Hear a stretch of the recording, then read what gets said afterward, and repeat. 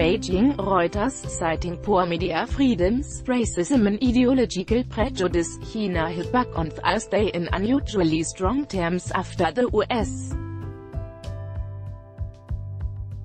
State Department slammed China's rights record, including equating abuses on its Muslim minorities with the 1930s.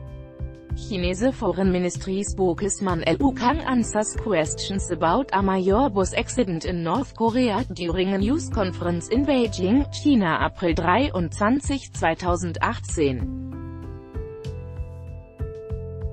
Reuters Jason Leo, S. Secretary of State Mike Pompeo highlighted the abuses in Iran, South Sudan, Nicaragua and China in the department's annual country reports on human rights practices but told reporters that China was in a league of its own when it comes to human rights violations. Michael Kozak, the head of the State Department's Human Rights and Democracy Bureau, said mistreatment of China's Muslim minorities in the Xinjiang region was like hadn't been seen since the 1930s apparently referring to the policies of persecution of Hitler's Germany and Stalin's Soviet Union. Speaking in Beijing, Chinese Foreign Ministry spokesman Lu Kang said the U.S. report was as usual filled with ideological prejudice and groundless accusations, and that China had lodged a complaint with Washington about it. China fully safeguards human rights and China has made many achievements in this regard, he added. We also advise that the United States take a hard look at its own domestic human rights record, and first take care of its own affairs. China has roundly rejected concern about its policies in Xinjiang, where rights groups say the government is operating internment camps holding a million or more Muslims. China says they are vocational training centers aimed at the radicalization. Adding to Beijing's strong pushback, the Chinese government on Thursday issued its annual rebuttal to criticism from Washington about China's human rights record. China's State Council, oder Cabinet, said the United States was a self-styled human rights defender that has a human rights record which is flagrant and lackluster. The double standards of human rights it pursues are obvious, it said.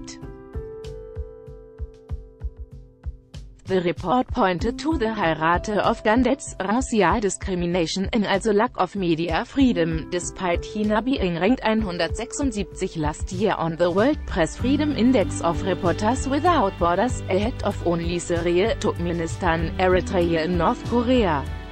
Press freedom has come under unprecedented attack, it said, pointing to cases of reporters in the United States being arrested and prevented from doing their jobs. The U.S. government continues to publicly and fiercely accuse the media and journalists of creating fake news and creating an atmosphere of intimidation and hostility, the report said. Reporters' legal right to report has been violated, it added, pointing to cases of the White House stripping some reporters of press credentials.